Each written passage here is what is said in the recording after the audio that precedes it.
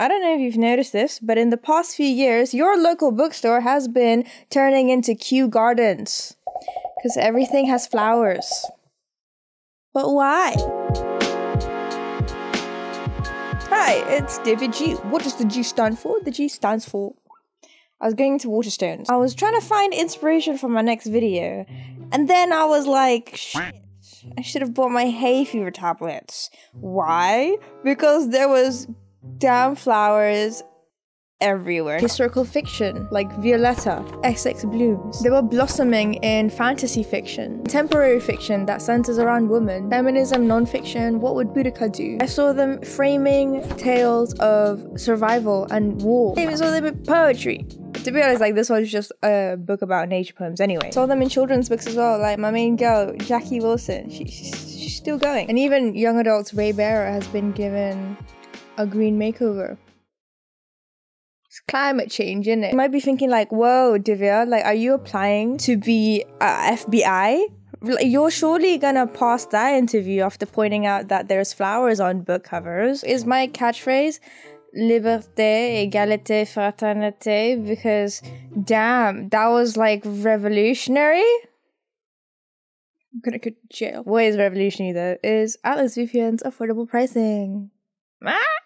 Segue. Bear with me, I know you didn't sign up for cable adverts on YouTube. A really quick thank you to Atlas VPN for sponsoring this video and allowing me to eat. I really want to thank you guys for watching this and like supporting me and supporting my sponsors, which directly helps me. So I was a stereotypical Asian immigrant. Um, I like cheap things. And I think what stuck out to me when I was looking at Atlas VPN was how affordable of an option of a service provider there were. Atlas VPN would like for me to tell you guys that they are having a big deal right now. They are having a sale.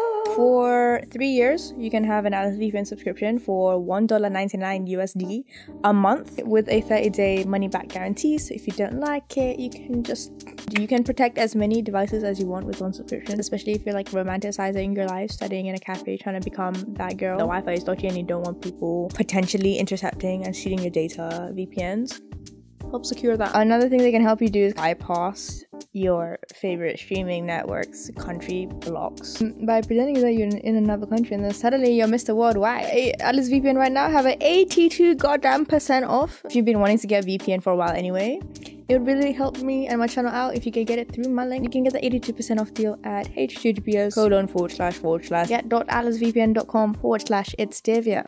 And it's also in my description below. Floral imagery is not unique. You can find it in the world's greatest series of all time, Twilight, and subsequently a lot of other YA fantasy novels after that point. So the group by Mary McCarthy's 1960 cover also adopts a flower motif for the cover to represent the eight women. Here's a 10th century gospel book made from ivory panels with vines and foliage. But I don't believe that we've had flowers on covers to the extent and the style that we have now. But why are there so many flowers? We love a good plant, we do. Industry plant, actual plant. Humans have been cultivating plants and foliage and flowers for thousands of years. Whether as a symbol for indicating, you know, available food, fragrance to absolutely obliterate your own body smell and douse yourself in, as symbols of remembrance for medicine to make loved ones smile, as important symbols of protest for making crap overpriced food feel justified, for livening up your home. The most poignant use of flowers have been in 2013 Stan Culture Tumblr aesthetic like art imitates life. Throughout time, we see how floral, natural imagery is used within literature and art. My guy Narcissus. The story of Narcissus, badly told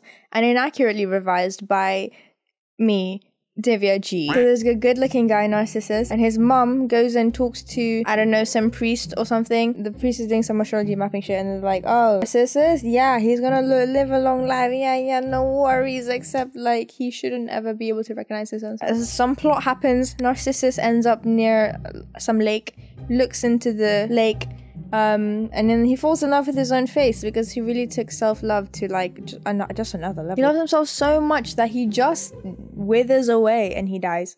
And then a flower is born. And that's Narcissus. I think just like the story, one of the reasons why you have a lot of flowers is because they have and hold a symbolic meaning. You see flowers in horror books used effectively to create something that looks a little bit more unnatural, unnerving. Death and decay. I think flowers are great. They can either be used to show like the fleetingness of human life, or conversely, add a bit of energy. I often do the covers of literature books that have a focus on women, and therefore the floral symbolism can be used effectively to express femininity and cute. If you have a cover that's like a super literal representation of something, it can be kind of bland. So I think flowers are a good scapegoat for not having someone's face on a cover. Like, no one wants to see that shit. Flowers as a symbol of beauty has this like huge relevance in a lot of the novels that touch upon, you know, what does it mean to be beautiful as a theme? The Renaissance. The Renaissance had a preoccupation with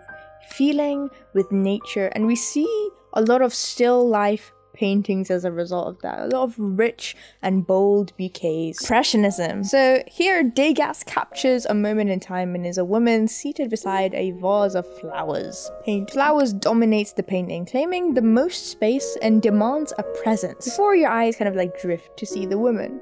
She's unfocused. She's like, mm, my girl's not present. She's like pondering there's something outside of the frame. The color is rich and it contrasts the dull, muted browns of her attire. And I think composition is interesting because it always pushes the woman away from the focus. You can also argue that there's a strange harmony and balance of, of woman with nature. Austen. Shrubbery and gardens in Austen's novel set important backdrops for either satirizing this obsession with the picturesque cult or they're used as places of respite or even places for love. So obviously because of this, I think it makes sense to have flowers on the cover if nature is a part of your story. But another question is is this all marketing? If you've seen basically any of my other cover videos, you'll know that the answer is always yes. Flowers have this eye pleasing symmetry that makes parts of our brain go, mmm, yum, yum. It's scientifically backed and, peer reviewed research. Fire, fire, fire me. And flowers have like been scientifically proven to uplift moods and spirits. So it's like, got depression? Drink water and look at some pretty flowers. Is it also possible that they just put flowers on the cover for literally no reason? Yes. Um, if anything, one of the reasons will be like, well, this worked on like another best-selling book so let's just do it again. Ultimately like you want a book to sell right? So if you do something completely off-brand completely out of genre the reader might not know where to place it. What is your cover communicating to me about what your book is about about what genre is it? And if i can recognize something that think ah this looks like another thing that i really liked i'm gonna buy it am i not? And i also think like in certain areas of design do I have iron deficiency because I am just getting tired of minimalism. About interior design and this lovely, unseasoned, drab, lifeless slab of black and white and grey, right? I feel like we've really come to embrace more personality. We really value sort of the eclectic character, and I feel like this is also reflected in book covers as well. We see a lot of patterned, rich, bold, decorative, like maximalist covers are really fighting for their lives. They're fighting for our attention. Minimalist covers can be done well,